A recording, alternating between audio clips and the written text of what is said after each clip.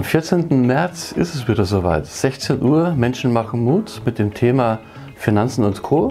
Bist du dabei im Livestream? Es wird spannend, denn wir haben nicht nur hochinteressante Gäste, sondern auch die Weltpremiere des Liedes Mein Bargeld von Corona Bavaria. Also, wir sehen uns. Bis dann.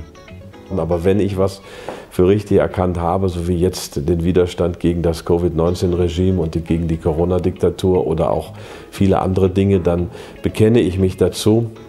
Und dass in China das Wort Krise aus zwei Wörtern besteht, nämlich Gefahr und Chance. Und ich denke, dass das auch äh, in unserer Zeit äh, sich zeigen wird. Also diese Krise, die wir jetzt durchleben, ist eine ungeheure, äh, weltumfassende Krise nicht immer mhm. das Alte wiederkauen ja, und fünfmal neu verkaufen, sondern erschaffen. Ja? Also dieser Schöpfergedanke von Neuem zum Wohl für alle. Also eine gute Mischung aus dem, was wir in Deutschland gesehen haben und das, was in den USA passiert ist, ist in meinen Augen das, was ich als ja, sehr, sehr freie Marktwirtschaft sehe, die aber trotzdem auch die sozial Schwachen ein Stück weit auffängt.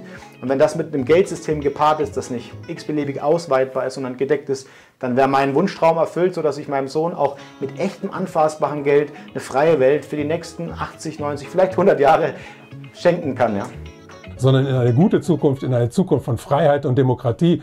Das einfach, das ist transparent, ja, das schlägt zu, das sitzt, ja.